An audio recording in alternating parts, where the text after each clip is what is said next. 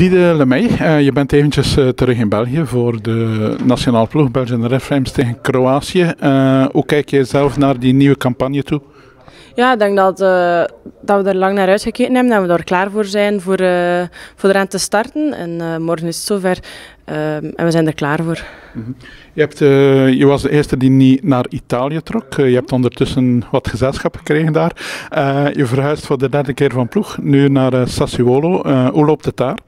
Um, ja, goed. We zijn begin, nee, eind juli zijn we begonnen um, met heel wat nieuwe speelsters. Um, enkele zijn gebleven, de staf is, is volledig hetzelfde gebleven. en momenteel loopt het goed. We zijn volop aan het trainen en we werken naar 14 september uh, naar de openingsspeeldag. Ja, en jullie beginnen tegen? Uh, uit in Bari. Uh, dat is onmiddellijk ook de verste verplaatsing en mogelijk ook met vliegtuig. maar ja, dat is een match gelijk een ander. Ja, je bent daar ondertussen aangepast, denk ik. Je hebt wellicht uh, ook uh, die campagne van Italië gezien tijdens het WK. Uh, hoe voelde dat aan? Ja, het is leuk omdat ik speel er nu, het is mijn derde, derde, jaar dat ik daar speel. En ondertussen kent je ook wel wat speelsters. En dat is ook leuk om dan te volgen, omdat je die persoonlijk ook kent. Um, ik dat ze een hele mooie, hele mooie weg hebben afgelegd. Uh, en dat ze zeker trots mogen zijn op wat ze gepresteerd hebben. Ja, het heeft daar een nieuwe dimensie gekregen, hè, met de komst ook van Juventus, Inter nu, uh, Milan onder, onder andere. Ja, dat is waar. Elke, elke grote mannenploeg stapt nu toch in damesvoetbal. En je merkt dat het ook echt wel leeft.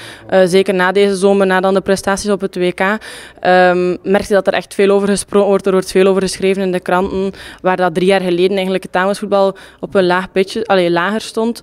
Um, ja, is nu echt iets wat dat, wat dat leeft mee met mannenvoetbal. En ik denk dat we dat alleen maar kunnen, uh, uh, kunnen aanmoedigen. Ja. Zij waren op het goede moment. De mannen van Italië plaatsen zich niet voor Rusland, de vrouwen voor 2019 wel. En dan maken ze ook nog een schitterende prestatie. Um, voor jou, Hinder, um, hoe zie je het seizoen? Um, ja, ik zeg het, we kijken er volop naar uit, naar die eerste match. Uh, we, we starten in Bari, dan thuis tegen Juventus.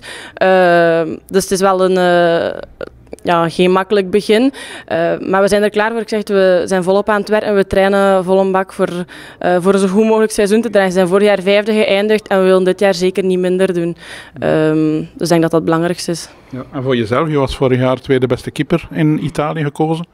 Ja, dat is leuk. Um, ik denk dat ik vorig jaar een, een, goed seizoen gespeeld heb samen met de ploeg. Um, en dan is het leuk als je op het einde van het seizoen uh, zo'n erkenning krijgt. Um, en dan kunnen we alleen maar proberen van dit jaar minstens even goed te doen. Um, en dan zien we dan op, uh, op het einde van het seizoen wel. Ja, en nog geen schrik voor de match tegen Inter, want uh, Ella staat daar in de spits. Scoort ondertussen vlot ook hier in België. Nee, ja, we weten dat, dat Ella heel wat kwaliteiten heeft en dat wordt zeker geen makkelijke wedstrijd. Maar ik denk dat er ook dit seizoen geen makkelijke wedstrijden zullen zijn. Um, en het is belangrijk van dat, van dat aan te pakken, net zoals alle andere matchen. En we willen die uiteraard ook winnen. Oké, okay. ik dank je veel succes dit jaar. Dank wel.